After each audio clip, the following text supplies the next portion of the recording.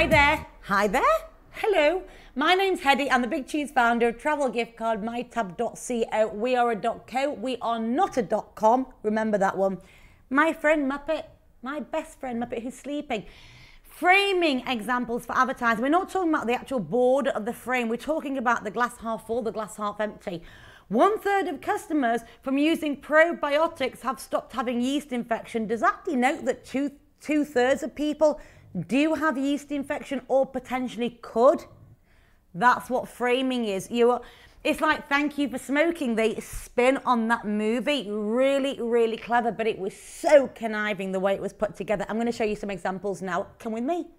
Okay, frame example. Know the facts about smoking or know the benefits of quitting smoking. One's talking about the facts and the other one's saying, but if you did smoke, so knowing the facts is like, well, the glass is half empty.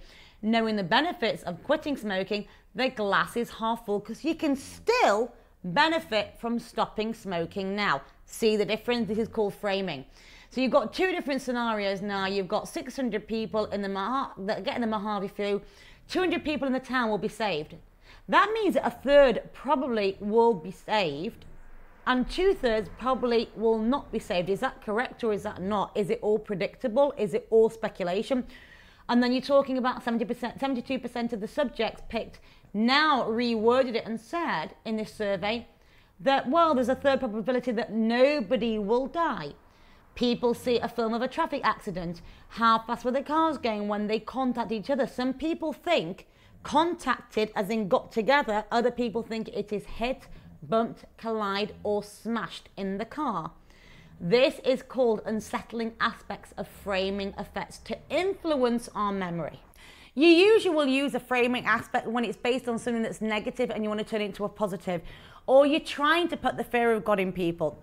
The biggest thing with that, when they say, well, you know what, two, two thirds of people may die of lung cancer this year, the may and the can me out. They never confirm anything. Two thirds of people may die from lung cancer if they get secondhand smoke. One third, what's going on with those? Will they be okay? Or one third will be completely saved as opposed to two thirds may die. Those are call framing elements in advertising.